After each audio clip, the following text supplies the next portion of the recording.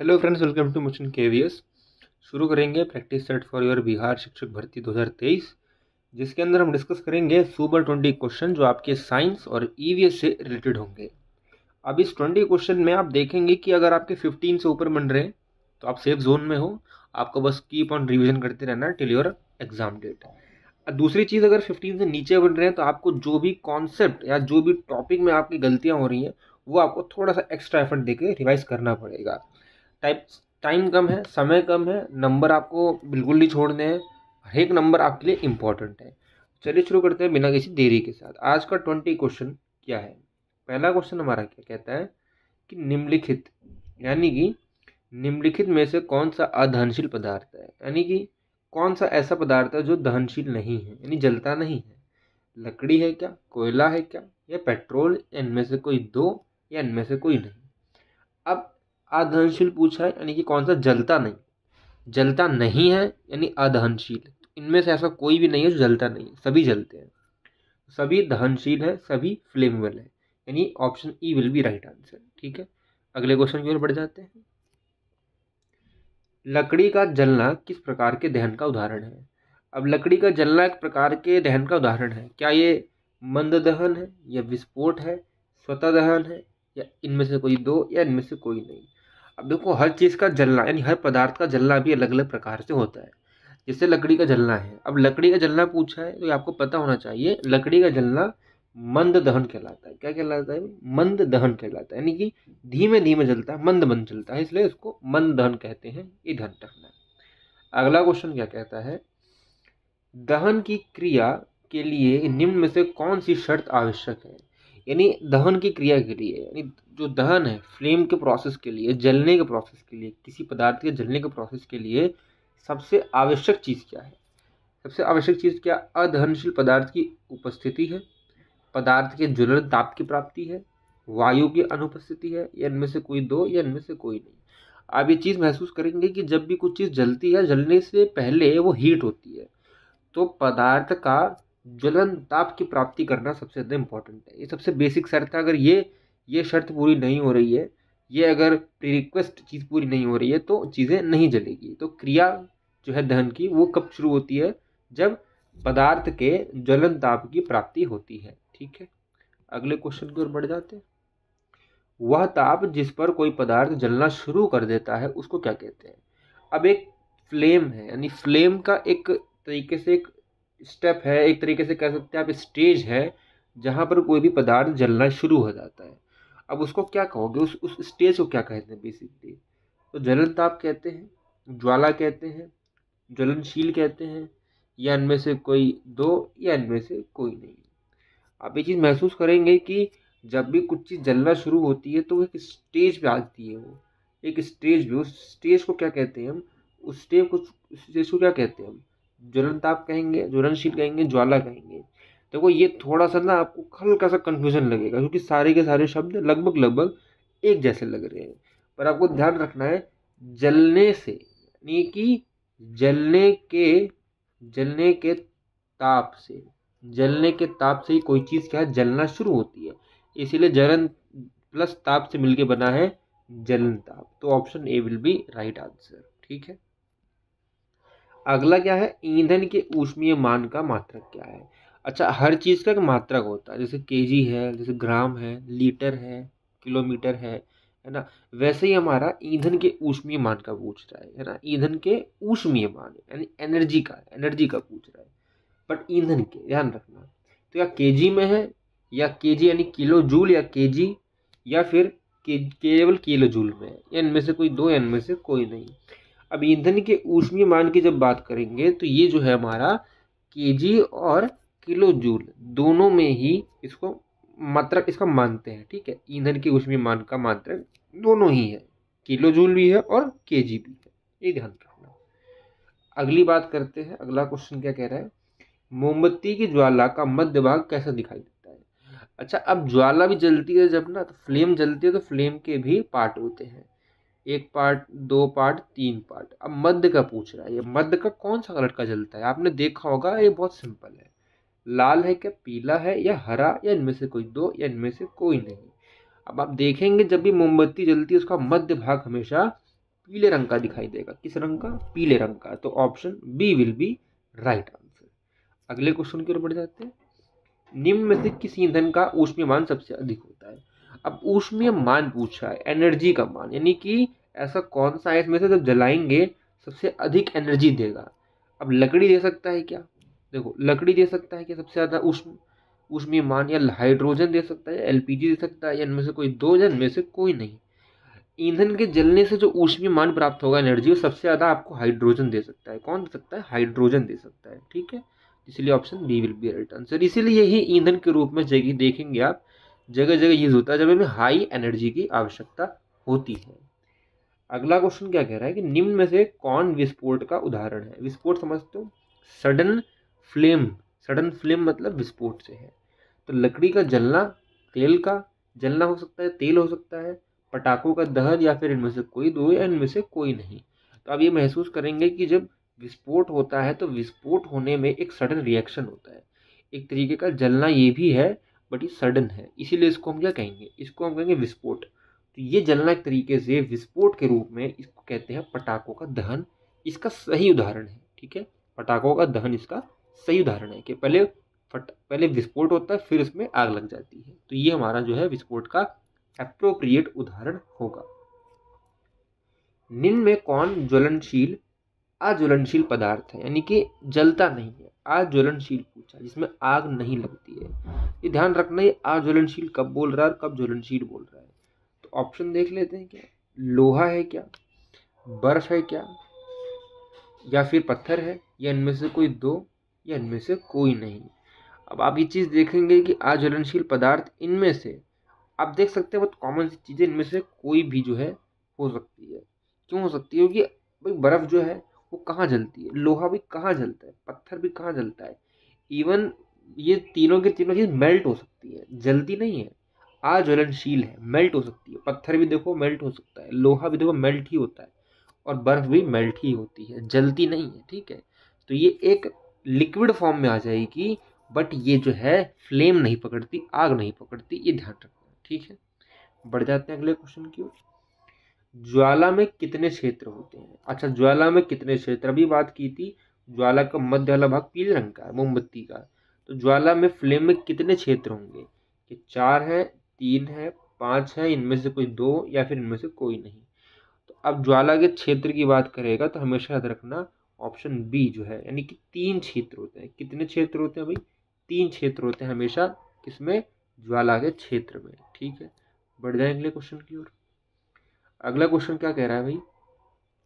कि वनों को समाप्त करने को क्या कहते हैं? अब वनों को समाप्त करना, देखो वन को लगाना, वन को लगाना एक तरीके से कहते हैं पुनवा पुनरारोपण, यानी कि आप क्या करते हैं? रिफॉरेस्टेशन कर रहे हैं, पुनरारोपण कहते हैं। बट इसको कह रहे हैं समाप्त करने को क्या कहेंगे? तो इसको क्या कहेंगे? वनोमूलन कहेंगे। सिंपल है तो कोई भी दे सकता है। बाकी वन्य जीव प्राणी अभ्यारण्य तो होगा ना, ये सेंचुरी वगैरह नेशनल पार्क तो होता ही नहीं है। ठीक है, आगे बढ़ जाते हैं। कि जंतु किसकी संख्या एक निर्धारित स्तर से कम होती जा रही है तथा वे विलुप्त हो सकते हैं। वे क्या कहलाते हैं? ऐसे जंतु की बात कर रहा है जो विलुप्त हो सकते हैं। तो ऑप्शन बड़े गौर से देखना है आपको। अब वन्य प्राणी हो सकता है कोई। पालतू जानवर कह सकते हैं, पालतू जंतु या संकटग्रस्त जंतु हो सकता है। या इनमें से कोई दो या इनमें से कोई नहीं। अब आपको थोड़ा सा वीडियो पॉज करके थोड़ा विचार मंथन करना पड़ेगा क्योंकि ये थोड़ा देखने को देखो क्लोज कॉल है ये इजी भी है बट क्वेश्चन समझना पड़ेगा आपको। क्वेश्चन अगर समझ पाओगे तो ही कर पाओगे, क्योंकि क्वेश्चन थोड़ा सा हल्का सा थोड़ा लॉन्ग है कि जंतु जिनकी संख्या एक निर्धारित स्तर से, यानी एक निर्धारित स्तर है, सौ है, डेढ़ सौ, हज़ार, उससे भी कम होती जा रही है, और वो जल्दी ही समाप्त या विलुप्त हो सकते हैं, हुए नहीं, है हो सकते हैं। तो उनको क्या कहोगे आप? तो ज़ाहिर सी बात है, देखो वन्य जीव प्राणी तो कहोगे नहीं। ए और बी में लोग जो हैं, क्या होंगे? कंफ्यूज होंगे। पालतू जंतु तो है नहीं, ठीक है? बाकी ये भी नहीं है और ये भी नहीं है। तो इन दोनों में से कोई एक हो सकता है। तो आंसर इसका सी सही है। क्यों? संकटा पत्र संकटा पत्र जंतु, यानी कि संकट अभी उन पर आ गया है। हुए नहीं समाप्त, संकट आ गया है। तो संकटा पत्र जंतु, उनको कहा जाएगा जो विलुप्त हो सकते हैं और उनकी एक लिमिट जो एक डिसाइड की थी, उससे भी घट गए हैं वो, ठीक है? अगले क्वेश्चन की ओर बढ़ जाते हैं। भारत में कुल बाघ निर्धारित क्षेत्र की संख्या कितनी है? अब ये लेटेस्ट क्वेश्चन है। लेटेस्ट क्वेश्चन है अप टू डेट क्वेश्चन है कि अभी रिसेंट तक जो है बाघ की निर्धारित संख्या पूछी जा रही है। तो भाई पचास है क्या? चौवन है या फिर अड़तालीस है या फिर डी इनमें से कोई दो या इनमें से कोई नहीं। अब डी तो हो सकता नहीं है। एक ही संख्या होगी, दो संख्या तो हो नहीं सकती। तो अभी रिसेंट में अप टू डेट में भारत में फिफ्टी फोर जो है, बाघ संरक्षित क्षेत्र है। ठीक है? कौन से? बाघ संरक्षित क्षेत्र हैं। और ये भी ध्यान रखना कि जो हमारे बाघ संरक्षित क्षेत्र होते हैं, वो जो है, हर स्टेट जो है अपने अपने लेवल पे डिसाइड करती है और डिसाइड करके उसको घोषणा करती है, फिर वो इम्प्लीमेंट होता है, फिर ऑफिशियली वो अनाउंस होता है, इसमें टाइम लगता है। जो फिफ्टी फोरवा जो है ना, वो काफ़ी टाइम से हो रहा था होते होते काफ़ी लंबा प्रोसेस चला गया। अब एक फिफ्टी फाइव पर भी बात चल रही है बट ऑफिशियली भी फिफ्टी फोर ही है फिफ्टी फाइव नहीं है। तो फिफ्टी फोर आप ध्यान रखना बाघ संरक्षित क्षेत्र है। अब ये क्वेश्चन पूछता है फिफ्टी फोरवा कौन सा है? फिफ्टी फोरवा कौन सा है? ये ध्यान रखना। ये क्वेश्चन आप याद करके जाना फिफ्टी फोरवा पूछ सकता है। देखो, दो तीन चीज़ आप याद रखना, मैं बता देता हूँ। सबसे पहले नेशनल पार्क याद रख लेना, कितने हैं और लास्ट वाला कौन सा है? बाघ संरक्षित क्षेत्र कितने हैं और लास्ट वाला कौन सा है? नेशनल पार्क कितने हैं और लास्ट वाला कौन सा है? बर्ड सेंचुरी कितनी है और लास्ट वाला कौन सा है? ये चीज़ें ध्यान रखना अप टू डेट आपका करंट अफेयर में भी और जीके में भी क्वेश्चन बनता है। तो ये आपको मालूम होनी चाहिए लास्ट वाले कौन कौन से हैं और कितने कितनी संख्या में उपस्थित हैं। ठीक है? बढ़े अगले क्वेश्चन की ओर। वनोन्मूलन का मुख्य कारण क्या है? अब देखो, वनोन्मूलन मतलब होता है, आप पढ़ चुके हो कि वनों को समाप्त करना। वनों को समाप्त क्या? भवन निर्माण के लिए, सड़क निर्माण के लिए, कागज़ उद्योग के लिए, शहरीकरण के लिए इनमें से कोई नहीं या फिर कोई दो। ऐसा कुछ हो सकता है। तो आप ये देखेंगे कि भाई, इनमें से लगभग लगभग सभी ऑप्शन जो हैं सही हैं। कि भाई भवन निर्माण के लिए भी करते हैं हम, सड़क निर्माण के लिए करते हैं, शहरीकरण के लिए भी करते हैं और कागज़ उद्योग के लिए भी करते हैं। तो ऑप्शन ई बहुत है अप्रोप्रिएट तो वनोन्मूलन का मुख्य कारण ये सभी हैं। ये सभी के सभी ए बी सी डी चारों के चारों हैं। तो option E will be right answer बढ़ते हैं अगले क्वेश्चन की ओर। प्राकृतिक आवास का वन्य प्राणी संरक्षण किसमें किया जाता है? अब ये थोड़ा समझना, ये थोड़ा समझना क्वेश्चन इसमें थोड़ा सा आप मिस्टेक कर सकते हो। प्राकृतिक आवास का वन्य प्राणी संरक्षण प्राकृतिक जो आवास होता है ना, उसका जब कंजर्वेशन करते हैं, उसका कन्वर्जेशन कहते तो वो किसमें किया जाता है? वो किसमें किया जाता है? इसकी तरीके से कह सकते हैं प्रोसेस है टेक्निक है, कह सकते हैं इसका एक चरण है तो उसको नाम किस से नाम दिया जाता है? इन सी टू है, ये एक्स सी टू है, ये पर सी टू है इनमें से कोई दो, या इनमें से कोई नहीं। इसको आप थोड़ा ना, इसको आप रिसर्च करेंगे, इसको जानेंगे, पढ़ेंगे इस कॉन्सेप्ट को तो बेटर कर पाएँगे।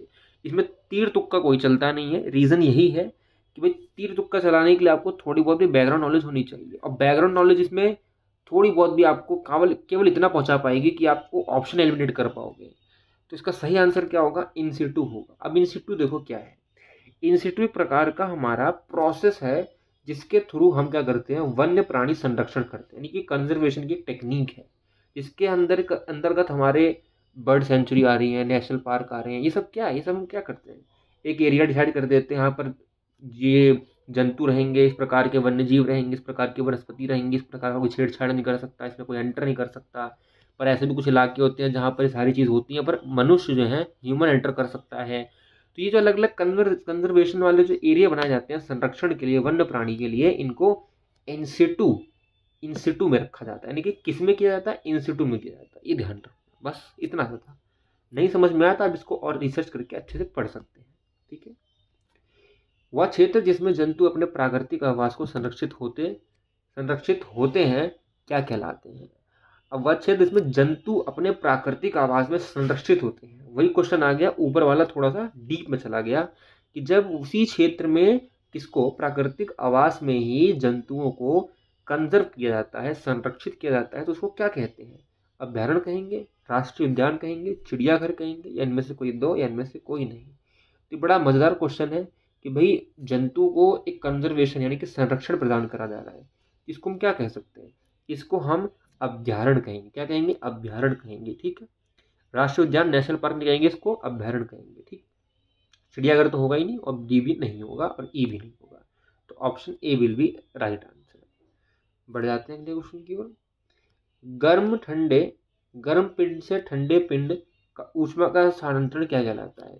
यानी एक पिंड ये है, एक पिंड ये है। अब गर्म पिंड से ठंडे पिंड में ऊष्मा का स्थानांतरण, गर्म से ठंडे में जब ऐसा ऊष्मा का स्थानांतरण होता है, उसको क्या चालन कहेंगे, प्रेरण कहेंगे, संवहन कहेंगे इनमें से कोई दो या इनमें से कोई भी नहीं, ये आपको बताना है।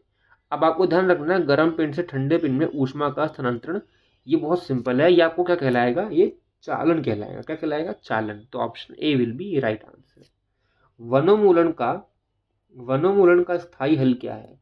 अब देखो, स्थायी हल पूछा है। क्या पुनः चक्रण करना चाहिए? क्या पुनरारोपण करना चाहिए वनों का? ये जंतु संरक्षण करना चाहिए? या इनमें से कोई दो, या इनमें से कोई भी नहीं?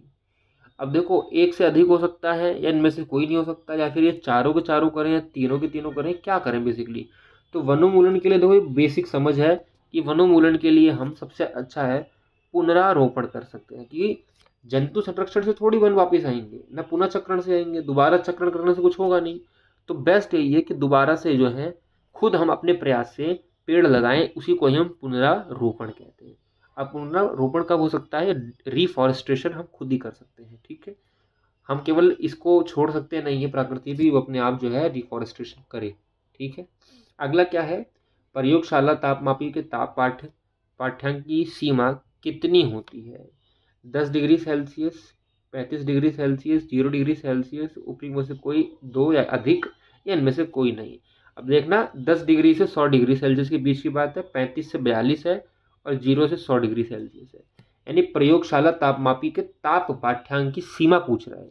जो प्रयोगशाला में तापमापी होता है ना उसके ताप पाठ्यांक की सीमा पूछ रहा है लिमिट पूछ रहा है, कितनी होती है बेसिकली जो प्रयोगशाला में तापमापी होती है थर्मामीटर होता है, उसका पूछ रहा है ये।